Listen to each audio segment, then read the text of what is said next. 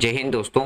देखिए, आज जो हम क्वेश्चन डिस्कस करेंगे, वो हम करेंगे जीएस टू में पूछा गया है क्वेश्चन है जो रिसेंटली अभी यूपीएससी जो मेंस का एग्ज़ाम हुआ है 2024 में, उसका क्वेश्चन अभी हम डिस्कस कर रहे हैं। ऑलरेडी जीएस वन कंप्लीट कर लिया है। जीएस टू डिस्कशन चल रहा है। क्वेश्चन देखिए क्या पूछा गया है कि आपको क्रिटिकली एनालाइज करके बताना है कि अभी जो हमारी कंट्री का डिप्लोमेटिक इकोनॉमिक और जो स्टेटिक्स जो रिलेशन है वो सेंट्रल एशिया रिपब्लिकन्स के साथ जो डेवलप हो रहा है, जो कि रीजनल और ग्लोबल जियो पे भी वो क्या कर रहा है, अपना एक सिग्निफेंस रोल प्ले कर रहा है इंक्रीज कर रहा है, उसकी जो महत्व है वो बढ़ रहा है तो उस पर आपको क्रिटिकली एनालाइज करके क्या करना था आंसर लिखना था। अभी जो हमारा मेन्स आंसर राइटिंग डिस्कशन चल रहा है, इसमें मैं अपने कुछ पॉइंट्स लिखे, उसको डिस्कस करता हूँ, बाकी आपको लगता है कि और भी जो कुछ पॉइंट्स होने चाहिए थे, वो आप कमेंट बॉक्स में मेंशन कर सकते हैं। तो देखिए, बिना टाइम वेस्ट किए चलते हैं अपने आंसर राइटिंग डिस्कशन पे। आप लोग को अच्छे से पता होगा कि मेंस आंसर राइटिंग कितना इंपॉर्टेंस होता है, खास करके जब आप यूपीएससी जैसे एग्ज़ाम की प्रिपरेशन कर रहे होते हो। तो देखिए, आज का जो हमारा आंसर डिस्कशन चलेगा, वो कुछ एग्ज़ाम्पल के बेसिस पे हम डिस्कस करेंगे और कुछ मेन पॉइंट डिस्कस करेंगे, जो कि अकॉर्डिंग टू क्वेश्चन है। सबसे पहले जो हमारा पॉइंट हम जो पॉइंट डिस्कस करेंगे, वो होगा हमारा स्ट्रेटिक इंटरेस्ट अगर हम स्ट्रेटिक इंटरेस्ट की बात करते हैं, यानी कि जैसे हम कहते हैं राजनीतिक जो रुचियाँ हैं, देखिए, सबसे पहले आप ये समझिए कि इंटरनेशनल लेवल पे ना तो कोई हमारा परमानेंट एनिमीज होता है और ना कोई परमानेंट फ्रेंड होता है. सारा खेल डिपेंड करता है अपने अपने इंटरेस्ट पे. तो उसी के बेसिस पे इंटरनेशनल रिलेशन क्या करता है? काम करता है।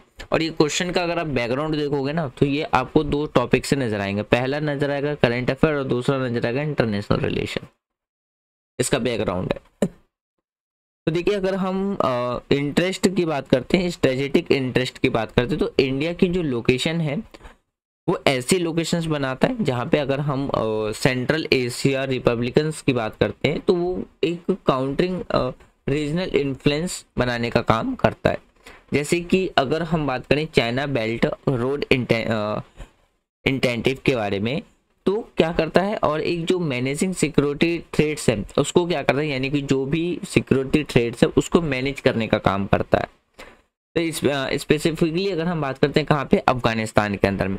इन शॉर्ट कि भारत का जो स्थान चीन बेल्ट एंड रोड इंटेंसिव है जैसे जो क्षेत्र प्रभाव है रीजनल इन्फ्लुएंस जो है, उसका मुकाबला करने के लिए एक स्पेशल कह सकते हैं या विशेष रूप से अफ़गानिस्तान में जो सुरक्षा है, यानी कि जो सुरक्षा थ्रेट है, सुरक्षा को लेकर के जो खतरा है, उसको मैनेज करने के प्रबंध के लिए क्या है? सी ए आर को आवश्यकता बनाता है, यानी कि जो हमारा सेंट्रल एशिया रिपब्लिकन आपको देखने को मिलेगा। दूसरा पॉइंट निकल के आता है इकोनॉमिक एंगेजमेंट यानी कि अगर हम trade between India and C A R S की बात करते हैं, यानी कि सेंट्रल एशिया और रिपब्लिकन्स की बात करते हैं, वो आपको काफ़ी हद तक क्या देखने को मिलेगा? लिमिटेड नज़र आएगा। लेकिन अगर हम एक एक्सपेंडिंग की बात करते हैं, जैसे कि एनर्जी एक्सपेंडिंग करना, या जो यानी कि फार्मास्यूटिकल्स होते हैं या हम आईटी इंडियंस की बात करते हैं तो वो कनेक्ट करता है कहीं ना कहीं सेंट्रल एशिया पॉलिसी जिसका मेन उद्देश्य क्या है कि जो इकोनॉमिक स्टाइज है, उसको क्या करना स्ट्रॉन्ग बना के रखना, यानी कि उसको मज़बूत मजबूती करना, मज़बूत प्रोवाइड कराना। एनर्जी सिक्योरिटी की बात करते हैं तो जो सेंट्रल एशिया रिपब्लिकन्स है, वो काफ़ी ज़्यादा क्या है, रिच है एनर्जी रिसोर्सेज के लिए। स्पेसिफिकली अगर हम बात करते हैं, जैसे काजाकिस्तान के बारे में या हम तुर्कमेनिस्तान के बारे में क्योंकि तो इंडिया की जो ग्रोइंग एनर्जी है, आज के टाइम पे भी हमारी कंट्री में क्या है कि जो एनर्जी रिसोर्सेस है, उसकी काफ़ी ज़्यादा क्या है, डिमांड है। तो इंडिया एक तरीके से क्या है एनर्जी सप्लाई के लिए क्या देखता है, इन्हें एक अल्टरनेटिव फॉर्म में देखता है रिसोर्सेज के फॉर्म में देखता है कि जहाँ से हम अपनी जो एनर्जी की रिक्वायरमेंट है, उसको पूरी कर सकते हैं। तो जैसे हमारी कंट्री के द्वारा कुछ प्रोजेक्ट्स बनाए गए डेवलप किए गए, जैसे हम तापी की बात करते हैं, जिसमें तुर्कमेनिस्तान, अफ़गानिस्तान, पाकिस्तान और इंडिया पाइपलाइन आता है। तो जैसे आपने क्लास टेंथ की जो जियोग्राफी है उसमें life line of Indian economy अगर आपने चैप्टर पढ़ा होगा तो उसमें पाइपलाइन के बारे में आपने ज़रूर पढ़ा होगा पाइपलाइन क्या होता है। तो अगर आप टेंथ क्लास के स्टूडेंट हैं और उसके बाद आप ये वीडियो देख रहे हैं तो आप यहाँ से भी आपके लिए क्या निकल के आएगा एक टॉपिक निकल के आ जाता है कि आप अपने उसमें टॉपिक में एग्ज़ाम्पल के तौर पे जैसे तापी जैसे प्रोजेक्ट को आप मेंशन कर सकते हैं। तो एनर्जी सिक्योरिटी के पॉइंट ऑफ़ व्यू से आप देख सकते हैं।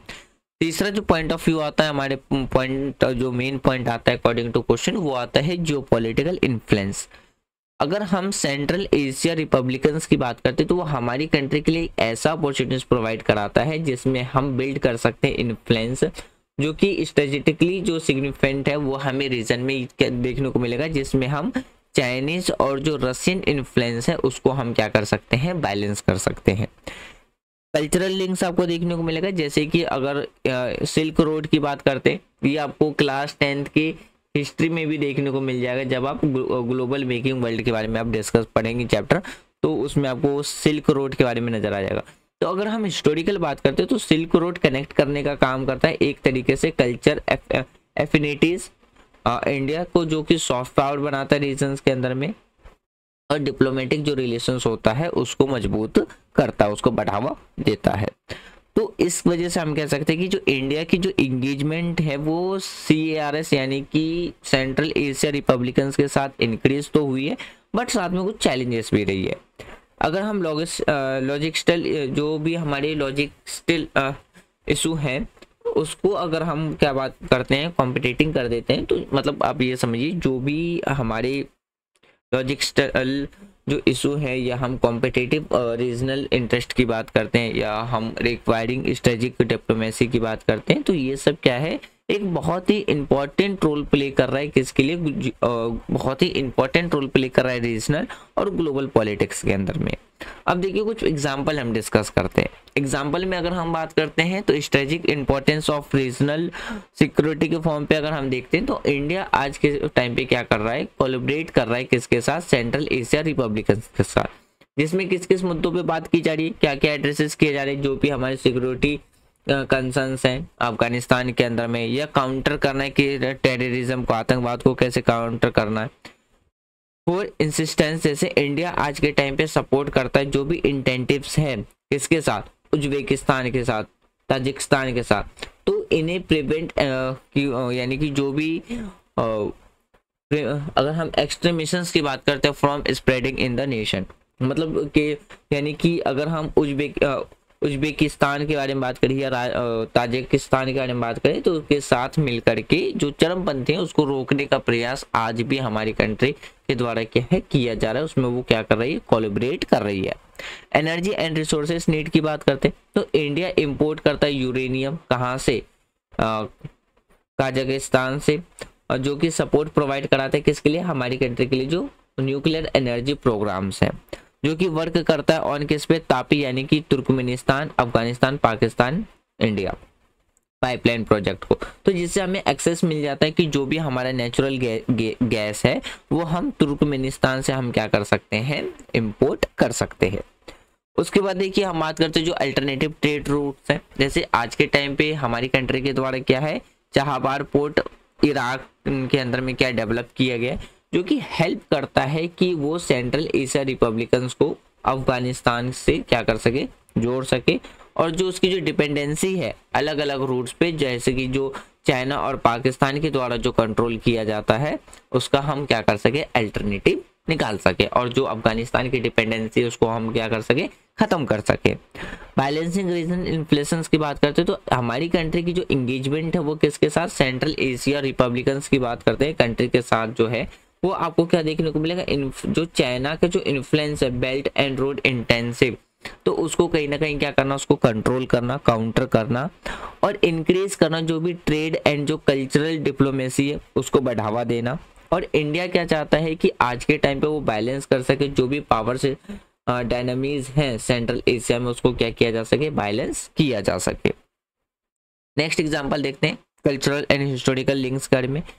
भारत, यानी कि जो हमारा प्यारा देश है एंड सेंट्रल एशिया रिपब्लिकन आज के टाइम पे क्या कर रहा है? एक हिस्टोरिकल कनेक्शन आपको देखने को मिलेगा, जैसे सिल्क रोड तो जो कल, ये क्या बना था? कहीं ना कहीं एक हमारी कंट्री के साथ जो कल्चर बॉन्ड्स है, उसको अलाउ करता हुआ नज़र आ जाएगा, जो कहीं ना कहीं हमारी कंट्री की जो सॉफ्ट पावर है, उसको मजबूती प्रोवाइड कराता है। या आप सॉफ्ट पावर में जैसे देख सकते हो बॉलीवुड काफ़ी ज़्यादा पॉपुलर हो रहे हैं। या हम एजुकेशनल एक्सचेंज की बात करते हैं, या जो हमारी कल्चर जो फेस्टिवल्स होते हैं, जो ऑर्गेनाइज किए जाते हैं इंडियन एम्बेसीज के द्वारा तो ये सारी चीज़ें आपको देखने को मिल जाएगा। तो इस एग्जाम्पल्स के बेसिस पे हमें ये समझ में आता है या ये हमें दिखता है कि आज के टाइम पे जो हमारा देश है, उनकी जो इंगेजमेंट है, हमारे देश की जो इंगेजमेंट है आज के टाइम पे सेंट्रल एशिया रिपब्लिकन कंट्री के साथ काफ़ी ज़्यादा बढ़ रही है। और इसका जो इम्पैक्ट है वो सीधा सीधी किस पे बढ़ रहा है? रीजनल एंड ग्लोबल पॉलिटिक्स पे बढ़ रहा है। तो फ्रेंड्स यही था अकॉर्डिंग टू क्वेश्चन जो हमारा आंसर था। यदि आपको लगता है कि इसके अलावा भी कुछ इंपॉर्टेंट पॉइंट हो सकते हैं कमेंट बॉक्स ओपन है, आप कमेंट बॉक्स में बता सकते हैं।